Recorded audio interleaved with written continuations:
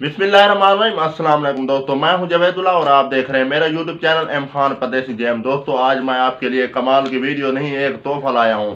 क्योंकि आप जो है ना, बहुत सारे दोस्त जो है ना, मुझसे जो है ना टोके रिपेयर कराने आते हैं, जो आप जो है ना, उसको ब्लेड कहते हैं। कोई हम तो कहते हैं टोके और कोई कहता है ब्लेड।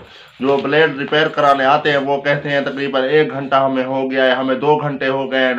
टोका मशीन के ब्लेड जो है ना खोलते खोलते बहुत सारी जो है ना, देर लग जाती है। आज मैं आपके लिए कमाल का एक तोहफा लाया हूँ, ये देखें। ये एक नट है, इसको मैंने खुद यहाँ से जो है ना काटा हुआ है।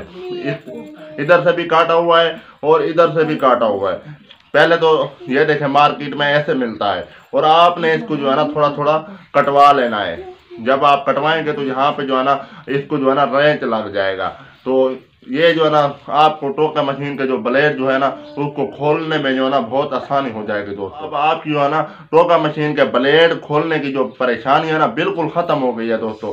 आप जो है ना कहते हैं कि हमने मोबाइल लगाया है नट को और हमने डीजल लगाया है ना अब आप ना मोबाइल लगाए नट पे और ना आप डीजल लगाएँ।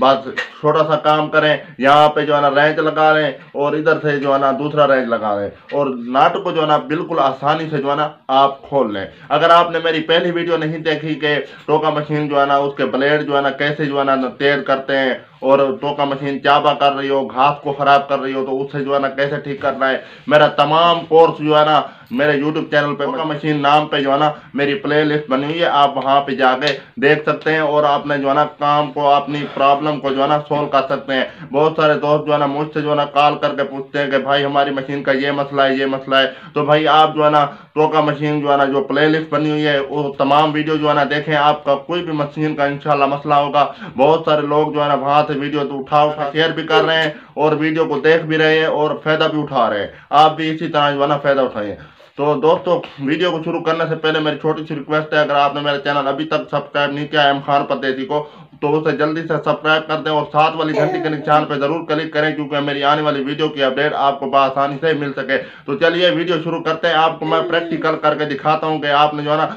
इस नट को कैसे जो है ना काटना है और इसको जो है ना, किस तरीके से जो है ना आप इसको खोल सकते हैं। बिल्कुल प्रैक्टिकल करके दिखाऊँगा। आप जो है ना आपका काम जो है ना बिल्कुल आसान हो जाएगा। तो चलिए वीडियो की तरफ़ चलते हैं।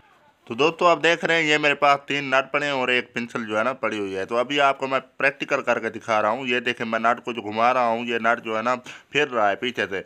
जब आप टोका मशीन के ब्लेड खोलने लगते हैं तो तब आप जो है ना नट को जो जब खोलते हैं तो इसी तरीके से जो है नट जो है ना, फिरने लग जाता है। तो अभी मैं आपको जो है ना प्रैक्टिकल करके दिखाता हूँ, ये देखें। मैं नट को पीछे से घुमा रहा हूँ और ये नट जो है ना फिर रहा है।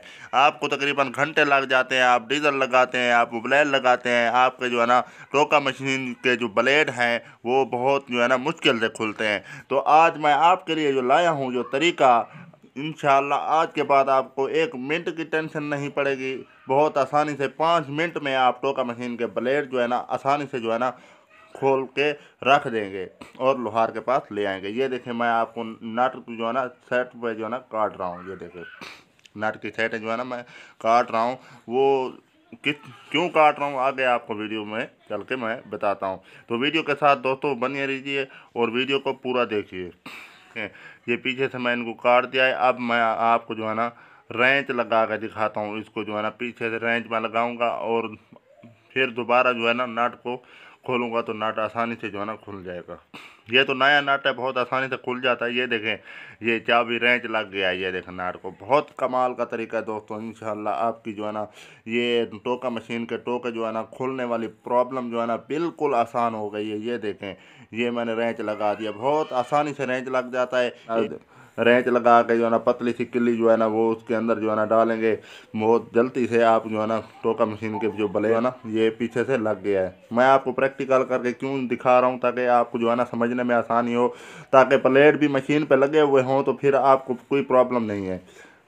तो दोस्तों, ये थी मेरी आज की वीडियो उम्मीद करता हूँ मेरी वीडियो आपको बहुत पसंद आई होगी। अगर मेरी वीडियो आपको पसंद आई है तो वीडियो को लाइक कर दें और चैनल को लाजमी सब्सक्राइब कर दें। और दोस्तों के साथ लाजमी शेयर करें, क्योंकि औरों का भी भला होता रहे।